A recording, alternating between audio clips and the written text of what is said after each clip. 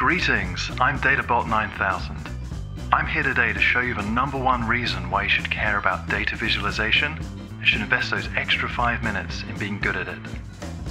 Like it or not, we all experience data visualizations, whether it's consuming them or creating them. No matter if you're a parent, teacher, politician, scientist, engineer, or business person, chances are you create data visualizations. So let's break down the steps involved in creating your data viz and the time it takes for each one. First, you need to spend time getting the data, like downloading it from a website, writing SQL queries, or begging your database engineer to generate them.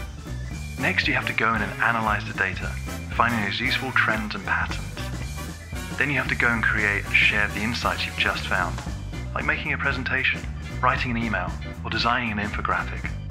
You'll then invest the time to ensure your audience is all in the same place, ready for you to share your findings, like checking calendars, booking meeting rooms, and fixing up conference calls. Finally, you can present your information. But what happens if your data visualizations are poor? People will ask unnecessary questions, they'll stop listening to you whilst they figure out what they're trying to see on the screen, some will lose interest, or they'll just be confused. Most importantly, all that time you've spent getting to this point will be wasted.